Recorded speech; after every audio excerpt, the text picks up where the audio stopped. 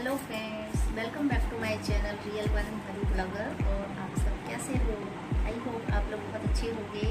तो हर बार की तरह आज भी मैं एक नया वीडियो लेकर आई हूँ आप लोगों के लिए, जो बहुत फ़ायदेमंद होगा और आप लोगों को उससे बहुत बेनिफिट होने वाला है। ये तो एक नॉर्मल सा टॉपिक है कि पानी पीना चाहिए या ज़्यादा पीना चाहिए, ये सभी को पता है। मोस्टली सभी लोगों को पता होगा कि पानी ज़्यादा पीना चाहिए। बट क्यों पीना चाहिए, ये कम लोग जानते होंगे। तो आज मैं आप लोगों को इस टॉपिक पर बात करने वाली हूँ कि पानी पीना चाहिए, कैसा पीना चाहिए, गर्म पीना चाहिए, ठंडा पीना चाहिए, या क्यों पीना चाहिए, इसका रीज़न मैं बताने वाली हूँ। तो आई होप आप लोग वीडियो को पूरा देखना और इससे फ़ायदा उठाने से जो भी बेनिफिट होगा पानी पीने से आप लोगों को तो वो आप लोग खुद समझेंगे। मेरे बताने से नहीं समझेंगे, लेकिन आप जब खुद पियेंगे, खुद ट्राई करेंगे तो आपको खुद समझ में आएगा कि पानी हमारे लिए कितना ज़रूरी है। तो चलिए स्टार्ट करते हैं। वीडियो और जानते हैं पानी पीने के फ़ायदे।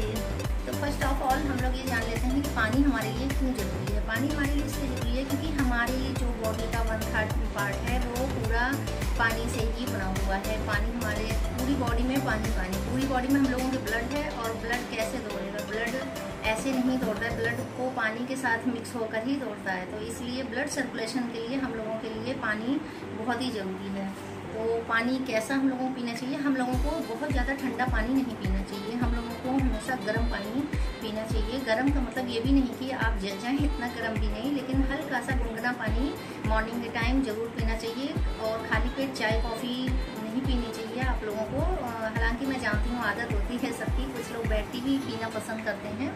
लेकिन अगर आप किसी आदत को, अच्छी आदत को अपनाना चाहें तो थोड़े दिन में वो आदत आपकी बदल भी सकती है, अगर आप चाहेंगे तो। किसी के कहने से नहीं, अगर आप चाहेंगे तो कोई भी आप, जो बुरी आदत कोई भी आप में है, वो आप बदल सकते हैं।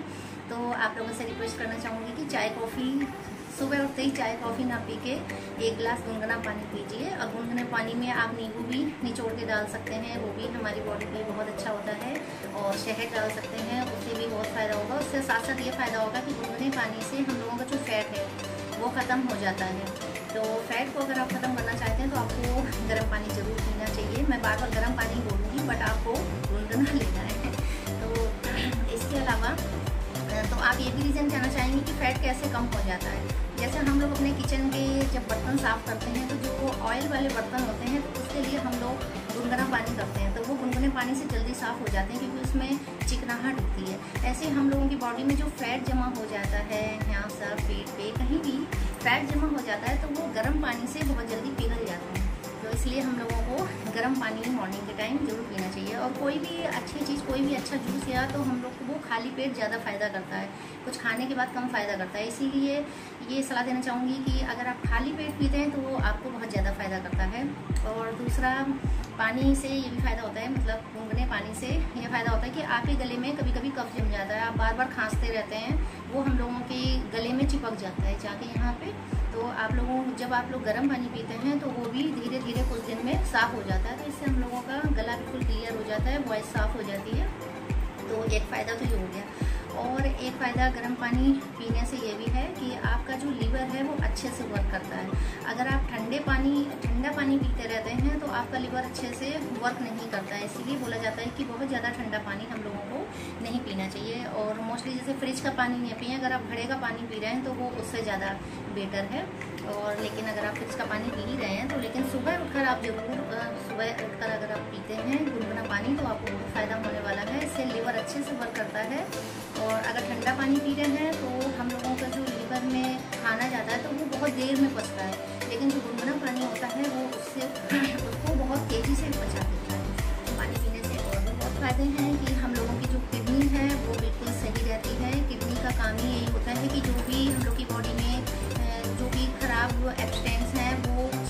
बाहर निकालती है तो वो कैसे बाहर निकालेगी? अगर आप पानी नहीं पिएँगे ज़्यादा, जितने बार भी आप छः सात बार टॉयलेट जाते हैं तो उतने बार आपके बैड सब्सटेंस जो भी बॉडी में होते हैं, वो बाहर निकलते हैं। तो अगर आप पानी ज़्यादा पियेंगे तभी वो बाहर निकल पाएँगे। तो अगर गुनगुना पानी पियेंगे तो वो और अच्छे से बाहर निकलते हैं। हम लोग की किडनी जो होती है, पूरे ब्लड को प्योरीफाई करती है।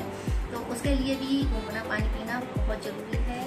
और इसके अलावा आपकी स्किन पर भी ग्लो रहता है। अगर आप गुनगुना पानी पीते हैं जो हम लोग बोलते हैं कि टाइट हो रही है, खिंचाव हो रहा है स्किन में तो ये सब पानी ना पीने की वजह से ही होता है तो गुनगुना पानी आपको ऐसे ही लेते रहना चाहिए। और तीन से चार लीटर करीब पानी तो हम लोगों को पीने ही चाहिए, लेकिन गुनगुना पानी अगर आप पीते हैं तो उससे बहुत ज़्यादा आपकी बॉडी को फ़ायदा होने वाला है।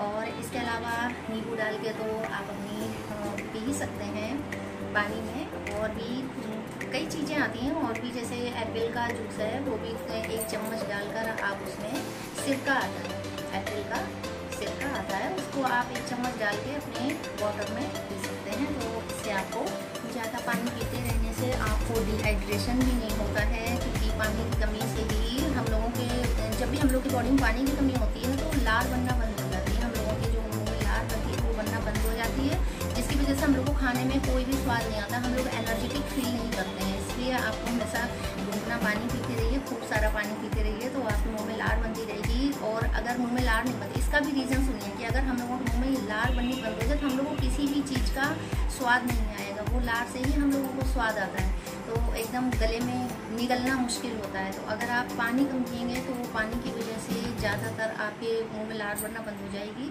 और जब भी डिहाइड्रेशन होता है तो यही रीज़न होता है कि हम लोग बिल्कुल वीक पड़ जाते हैं, बिल्कुल चक्कर आने लगते हैं, बिल्कुल काम करने में मन नहीं लगता है, खाना खाने में मन नहीं लगता तो वो खाना खाने में मन इसी वजह से नहीं लगता है, क्योंकि मुँह में लार नहीं बनती है और लार की वजह से हम लोग को खाने में कोई भी टेस्ट नहीं आता है। तो इसके लिए भी बहुत ज़रूरी है और इसके अलावा हमारे यूरनरी सिस्टम को बिल्कुल सही रखता है।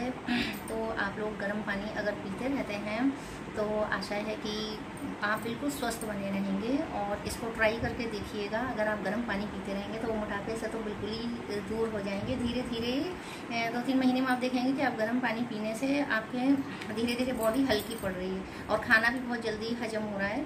और सबसे बड़ी बात यह है कि जो लोग बाथरूम में बैठ के बहुत देर लगाते हैं तो उनके लिए बहुत ज़रूरी है, बिल्कुल रामबाण है। गुनगुना पानी अगर आप पीते हैं, जैसे दो तीन दिन से आप जा रहे हैं और अगर आप फ्रेश नहीं हो पा रहे हैं, बाथरूम में जा रहे हैं, ऐसे ही उठ के चले आ रहे हैं तो उनके लिए बिल्कुल रामबाण दवाई आप करके देखिएगा एक बार। दो तीन बार अगर आप उसको पी रहे हैं सुबह के टाइम में तो देखिएगा चौथे दिन से आप अच्छे से फ्रेश होने लगेंगे तो ये मज़ाक की बात नहीं है, बिल्कुल सही बात है। आप एक बार करके देखिएगा, जिसको भी ये प्रॉब्लम हो कि वो फ्रेश नहीं हो पा रहे हैं ठीक से तो बिल्कुल अच्छे से आप गुनगुना पानी पीजिए एक गिलास डेली तो आप बिल्कुल फ्रेश, आपका लीवर बिल्कुल सही रहेगा। और जो आंतों में हम लोगों के खाना नहीं पच पाता है तो अगर आप गुनगुना पानी पी रहे हैं तो वो खाना बहुत अच्छे से पचता है। तो आशा है आपको वीडियो पसंद आया होगा और गर्म पानी के क्या क्या फ़ायदे हैं, इससे भी ज़्यादा फ़ायदे हैं, लेकिन वीडियो बहुत लंबा हो जाएगा, इसलिए मैं आपको सिर्फ़ लिमिटेड और मेन मेन जो फ़ायदे थे, वही मैंने आपको बताए हैं, लेकिन गर्म पानी पीने के बहुत ही ज़्यादा फ़ायदे हैं। तो आप धीरे धीरे कोशिश करिए अपनी चाय कॉफ़ी को सुबह बंद करके और इस गर्म पानी को स्टार्ट करिए, देखिए आपका मतलब आपको बहुत ज़्यादा फ़ायदा होगा। Okay thank you so much video देखने के लिए। बाय बाय फ्रेंड्स और अगर आप मेरे चैनल पर नए हों तो प्लीज़ चैनल को ज्वाइन कर लेना और मैं ऐसे ही अच्छे अच्छे टिप्स आप लोगों के लिए लाती रहूँगी। Okay friends bye bye